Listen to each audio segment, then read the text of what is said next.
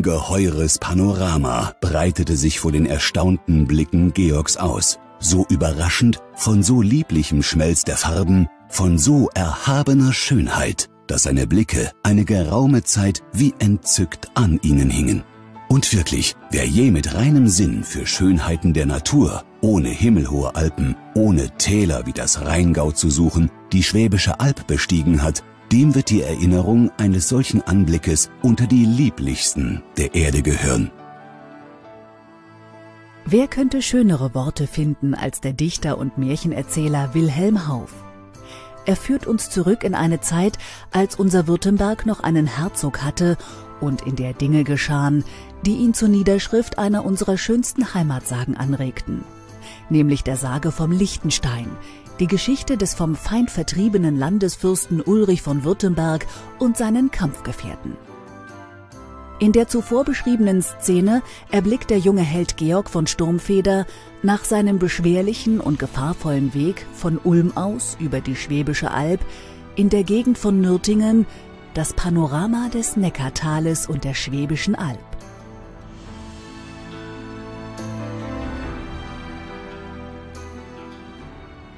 Von Pliezhausen aus haben wir einen ähnlich schönen Blick auf die Alb und auf Reutlingen mit seinem Hausberg der Achalm. Unser Ziel ist heute das Schloss Liechtenstein, der zu Stein gewordene Traum eines hoffnungslos romantisch veranlagten Grafen.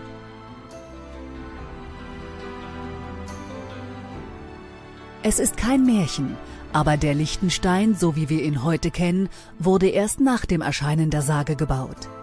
Inspiriert durch die Worte des Dichters erwarb Graf Wilhelm von Urach, der spätere Herzog, das Gelände der alten Burg Liechtenstein und ließ dort unweit der Ruine der alten Burg anstelle des ehemaligen Jagdhauses das Schloss Liechtenstein erbauen.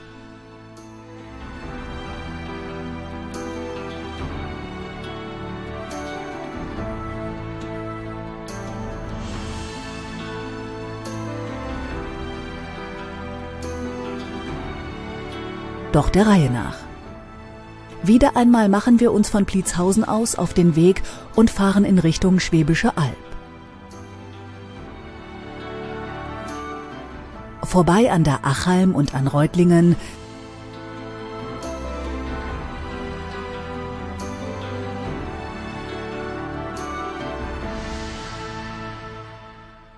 lassen die geheimnisvolle Urschel in ihrem Sagenberg links liegen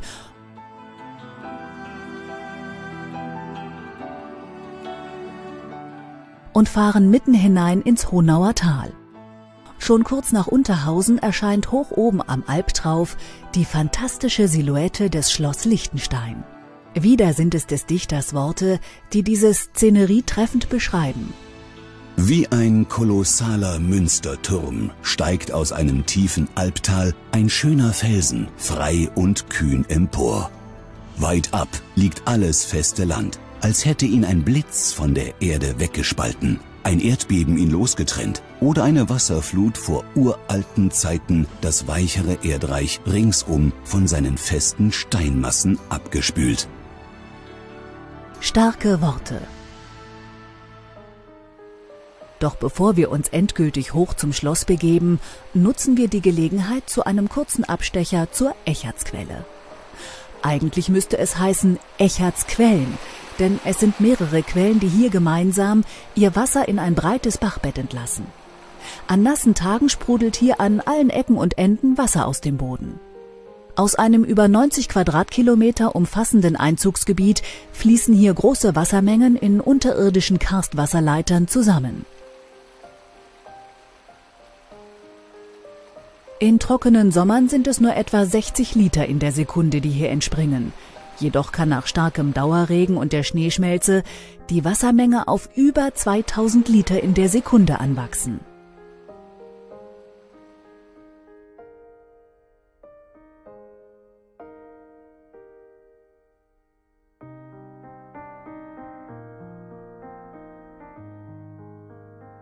Direkt hinter Honau beginnt der steile Anstieg auf die Höhe der Alp und die Straße hinüber zur anderen Seite des Tals und zum Liechtenstein. Der erste Eindruck vom Schloss ist eher der einer Festung. Nicht, dass das Schloss sich irgendwann einmal hätte verteidigen müssen, aber in der alten Zeit musste ein Schloss oder eine Burg ständig verteidigungsbereit sein.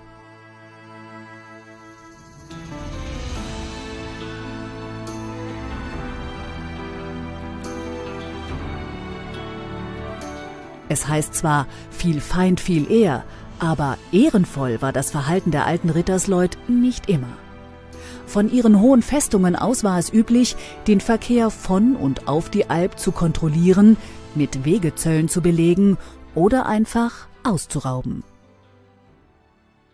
Den Reutlinger Kauf- und Fuhrleuten waren die Ritterburgen entlang des Alpaufstiegs und des Honauertals schon immer ein Dorn im Auge. Sie nutzten daher jede Gelegenheit, um ihrerseits den hohen Herren in ihren Burgen das Leben schwer zu machen. Im Jahre 1311 machten sich die Reutlinger zusammen mit Streitern aus anderen Städten auf den Weg, dem unrühmlichen Treiben oben auf der Alp ein Ende zu bereiten. Die Burgen Greifenstein und Alt-Liechtenstein wurden dem Erdboden gleichgemacht und weil es so schön war, 1377 noch einmal. Mag auch das Ende der alten Burg recht kriegerisch gewesen sein, so malerisch und romantisch verzaubert, erscheinen uns heute die Ruinen im milden Licht des beginnenden Herbstes. Auf dem Weg zurück zum Schloss begegnen wir dem Dichter bei seinem Blick hinaus in die schwäbische Landschaft. Natürlich nicht leibhaftig, sondern seinem Denkmal. Zeit, etwas tiefer in das Leben und Wirken dieses viel zu jung verstorbenen Meisters der schwäbischen Volksdichtung einzutauchen. Dazu kehren wir nochmal zurück hinunter in den Ort Honau und besuchen das Haufmuseum. Wer war Wilhelm Hauf? Geboren 1802 in Stuttgart, Schule in Tübingen und Blaubeuren und schließlich von 1820 bis 24 Studium in Tübingen mit Promotion zum Doktor der Philologie. Wilhelm Hauff, jetzt 22 Jahre alt, hatte gerade einmal drei Jahre Zeit, um sein umfangreiches literarisches Werk zu Papier zu bringen.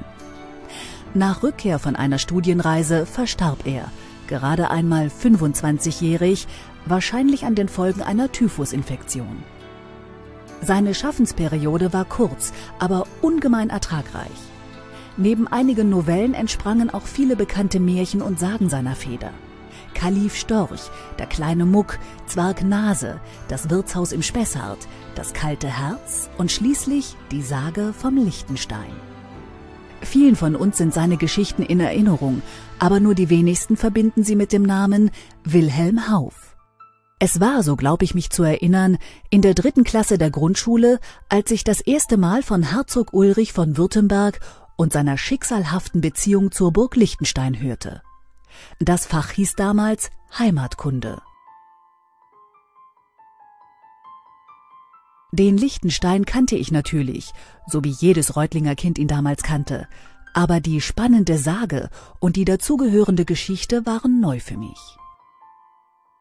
Nachdem ich so viel über die Sage vom Liechtenstein geredet habe, ist es an der Zeit, hier eine kurze Zusammenfassung der Ereignisse zu geben. Da haben wir unseren jungen Helden Georg.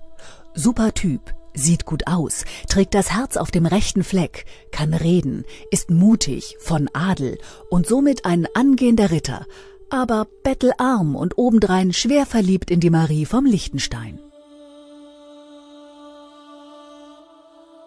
Georg will sich Ruhm und Anerkennung erkämpfen, reitet daher nach Ulm, um sich dem Schwäbischen Bund im Krieg gegen Herzog Ulrich von Württemberg anzuschließen. Für Marie würde er alles tun, und die wohnt gerade mit ihrem Vater, dem Burgherrn vom Liechtenstein, in Ulm bei Verwandten.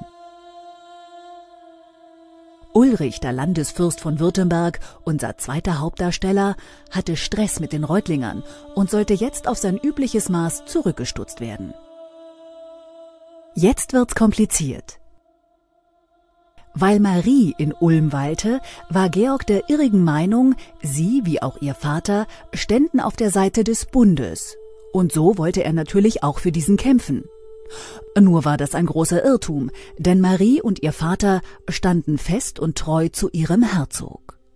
Georg wechselt also nach einigen Schwierigkeiten die Seite, wird zum überzeugten Württemberger und kämpft fortan für und mit seinem Herzog um die Freiheit des Landes und geht dabei fast mit ihm unter. Unterstützt werden die beiden dabei vom Burgherrn zu Liechtenstein und dem geheimnisvollen Pfeifer von Hart, einer Art schwäbischer Ninja und des Herzogs Bodyguard. Ein Kämpfer aus dem Volk, ausgestattet mit ungeahnten Fähigkeiten, bereit für den Herzog zu sterben. Der Herzog verliert seinen Krieg und muss fliehen, kommt aber mit frischen Truppen zurück und kann für ein paar Wochen sein Land zurückerobern. Georg heiratet seine Marie, muss aber erneut in den Krieg ziehen, da der Schwäbische Bund wieder zu den Waffen greift und den Herzog erneut aus dem Land jagt. Georg und der alte Liechtenstein werden gefangen und auf der Burg Liechtenstein unter Hausarrest gesetzt. Was für ein Glücksfall. Zugegeben, so edelmütig wie die Sage es gerne hätte, war Herzog Ulrich von Württemberg nicht. In jungen Jahren war er aufbrausend, jähzornig und verschwenderisch, aber auch wagemutig und kampfeslustig. Er liebte die Jagd, und so war es verständlich, dass er sich furchtbar über die frechen Reutlinger aufregte, die in seinen Wäldern sein Wild erlegten und seine Fische fingen.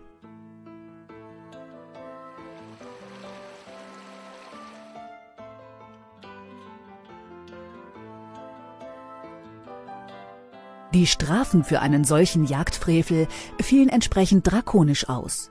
Augen ausreißen und im Kerker verfaulen waren nicht gerade verlockende Aussichten für die Wilderer.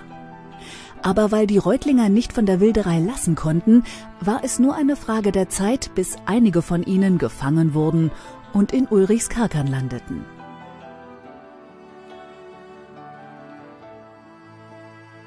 Da Ulrich die Gefangenen trotz vielfacher Gnadengesuche nicht wieder herausgab, waren die Reutlinger jetzt ihrerseits nicht mehr so gut auf den Herzog zu sprechen.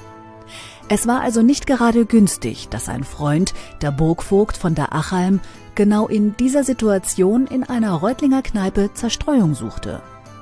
Ein paar böse Worte und zwei Messerstiche später lag er tot am Boden und Reutlingen hatte ein Problem. Herzog Ulrich war sauer.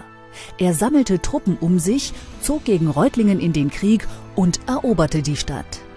Viel Freude hatte er allerdings nicht an seiner Eroberung, denn der Schwäbische Bund, zu dem auch Reutlingen gehörte, wollte sich diesen Eingriff in seine Angelegenheiten nicht gefallen lassen und zog nun selbst gegen Ulrich in den Krieg und warf ihn kurzerhand aus seinem Land. Herzog Ulrich war nun entwurzelt und auf der Flucht vor seinen Feinden. Mit dem Aufzug des Schwäbischen Bundes gegen Ulrich von Württemberg beginnt auch Wilhelm Hauffs Sage vom Liechtenstein. Für mich als neutralem Beobachter ergeben sich nun zwei verschiedene Betrachtungsweisen der Geschichte. Da hätten wir die Reutlinger Sicht der Dinge, so wie sie zum Beispiel in den unterschiedlichen Ausgaben des Reutlinger Heimatbuches zu lesen ist. Darin ist Herzog Ulrich klar der Böse, der Tyrann und grausame Folterer, dem aber glücklicherweise mit Hilfe des Schwäbischen Bundes der Garaus gemacht werden konnte. Eine ganz andere Betrachtungsweise liefert uns da der Dichterfürst in seiner Sage Der Liechtenstein. Bei ihm sind die Guten von tadellosem Charakter und die Bösen einfach nur schlecht. Wir wissen aber, und wie sollte es anders sein, die Wahrheit liegt irgendwo dazwischen. Unter uns gesagt, mir ist die Version des Dichters lieber. Zeit, das Museum zu verlassen und zurückzukehren zum Lichtenstein. Die wenigen Meter hinüber zur kleinen Zugbrücke am Eingangstor und hinein in den Innenhof des Schlosses sind heute ein leichtes. Wesentlich schwieriger gestaltete sich der Eintritt in die Burg Lichtenstein damals für Herzog Ulrich, Daher hat dieser Ort in der Sage eine besondere Bedeutung. In der Sage schlich sich der tapfere Ritter Georg von Sturmfeder des Nachts von seinem Zimmer in der Burg hinunter zum Tor, um zu beobachten, was sich Geheimnisvolles dort jede Nacht abspielte. Hören wir den Dichter. Georg schärfte sein Ohr, um zu vernehmen, wann er komme Nach wenigen Minuten hörte er oben den Hund anschlagen. Zugleich rief über den Graben eine tiefe Stimme. Lichtenstein. Wer da? fragte man aus der Burg. Der Mann ist da, antwortete jene Stimme, die Georg von seinem Besuch in der Höhle so wohl bekannt war. Ein alter Mann, der Burgwart, kam aus seiner Kasematte, die in den Grundfelsen gehauen war. Er öffnete mit einem wunderlich geformten Schlüssel das Schloss der Zugbrücke.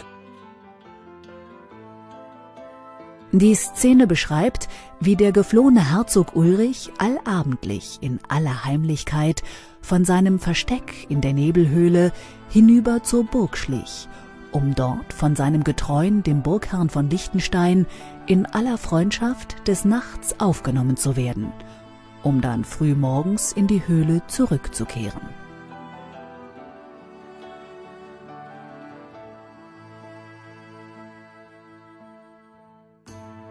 Ob es sich tatsächlich so zugetragen hat, wissen wir nicht. Aber es ist Grund genug, der Nebelhöhle einen Besuch abzustatten. Kurz ein paar Fakten zur Nebelhöhle. Sie ist eine typische Karsthöhle der Schwäbischen Alb, 830 Meter lang, aber nur auf etwa 450 Metern begehbar. Über einen eigens gegrabenen Schacht mit 141 Stufen steigen wir hinunter in eine Tiefe von 25 Meter unter die Erde. Der Weg führt durch die neue Nebelhöhle mit drei Hallen prächtiger Tropfsteine hinüber in die alte Höhle mit der oberen, der Ulrichshöhle. Hier soll sich der Herzog 1519 für mehrere Wochen versteckt gehalten haben. Wenn man die ganzjährig herrschende Temperatur von etwa 8 bis 10 Grad bedenkt und dazu noch weiß, dass üblicherweise knapp 90 Prozent Luftfeuchtigkeit herrschen, ahnt man, dass es dem Herzog damals recht kalt gewesen sein muss. Wie der Dichter schreibt, hatte er aber eine eigene, ihm typische Art, mit diesem Problem umzugehen. Und saget selbst, wohne ich hier nicht wie Fürsten selten wohnen? Habt ihr meine Hallen gesehen und die weiten Säle meines Palastes? Glänzen nicht ihre Wände wie Silber? Wölben die Decken sich nicht wie aus Perlen und Diamanten zusammengesetzt? Werden sie nicht getragen von Säulen, die von Smaragden und Rubinen und allen Edelsteinen der Erde prangen?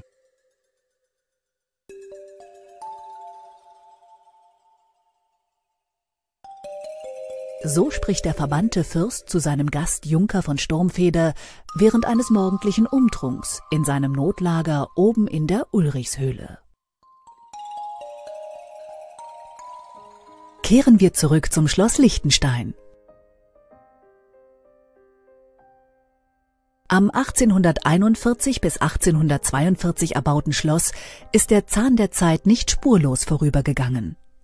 Eine aufwendige, über 30 Jahre dauernde Sanierung hat es möglich gemacht, dass die mehr als 100.000 Besucher pro Jahr heute ein prächtiges und makelloses Schloss vorfinden. Fast so imposant wie das eigentliche Schloss präsentieren sich heute die Neben- und Wirtschaftsgebäude. Für unverbesserliche Romantiker gibt es hier die Möglichkeit, sich das Ja-Wort zu geben und zu heiraten. Und wer nach seinem Besuch im Schloss den passenden Ausklang seines Ausflugs sucht, der findet im Restaurant Altes Forsthaus den passenden Rahmen für das Ende eines gelungenen Tages. Die Worte des Dichters Wilhelm Hauff haben auch hier den passenden Ton gefunden.